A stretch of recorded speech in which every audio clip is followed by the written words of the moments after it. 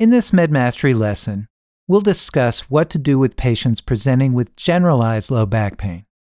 Now, when we discuss generalized low back pain, we're referring to pain predominantly centered in the back that doesn't fit the classical pattern of radiculopathy or neurogenic claudication.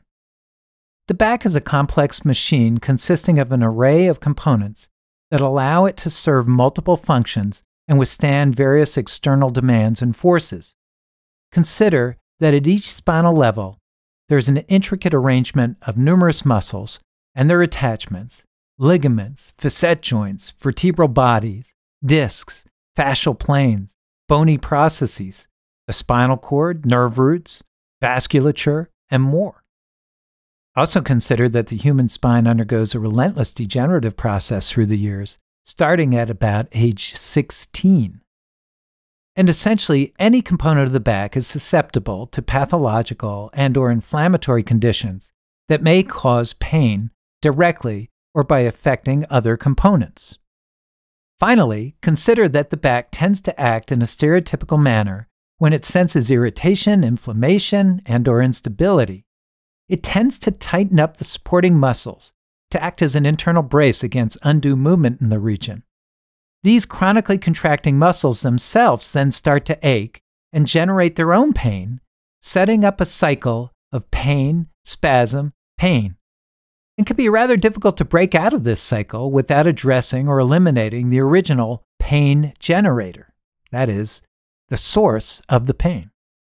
So the back can become painful for any number of reasons and yet manifest itself principally as generalized muscle pain. The original pain generator may be next to impossible to identify. Furthermore, imaging generally reveals a host of degenerative abnormalities, all of which, or none of which, could be acting as a primary pain generator. Thus, when you're confronted with a patient with acute generalized back pain, you have quite a challenge on your hands. 90% of the time, a definitive cause will never be determined. However, the good news is that most acute back pain syndromes are self-limited and will go away with time and or some conservative management. When faced with a patient with generalized low back pain, start with a good history. Ask about precipitating factors and alleviating factors, that is, factors that make the pain worse or better. Ask about onset and duration of symptoms and attempted treatments, including any history of spinal surgery. You'll be amazed at how many patients forget to tell you that they've had previous major spinal surgery. Make sure you grade the patient's pain for future reference.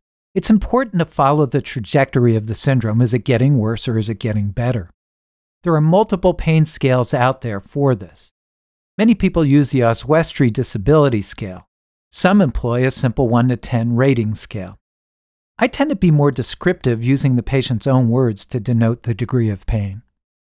Ask about associated neurological symptoms such as leg weakness, paresthesias, imbalance, bowel and bladder dysfunction. Always keep in the back of your mind the possibility of myelopathy or cauda syndrome.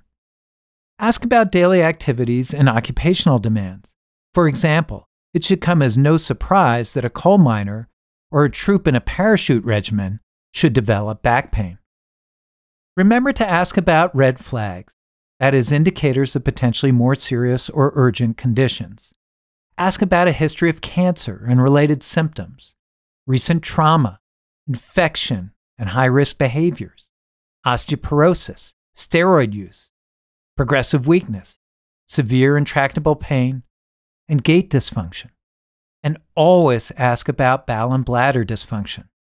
Definitive red flags necessitate early radiographic evaluation. Consider, but never assume, that psychological factors might contribute to the symptoms.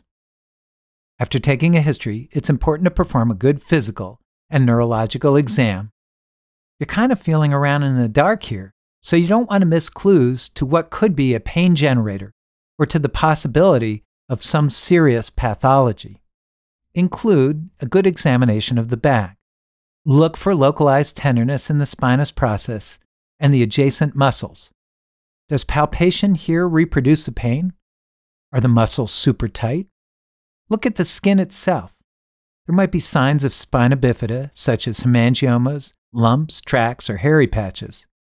Note the patients with severe persistent back pain often have burns on their back from overuse of various heating pads and devices. Have the patient go through a range of motion of their spine, that is, flexion, extension, rotation, and lateral bending. Do any of these movements exacerbate the pain? Always evaluate for myelopathy. Look for hyperreflexia, clonus, increased muscle tone, sensory level on the trunk, gait disturbance, loss of proprioception, loss of balance, a positive Romberg, and more.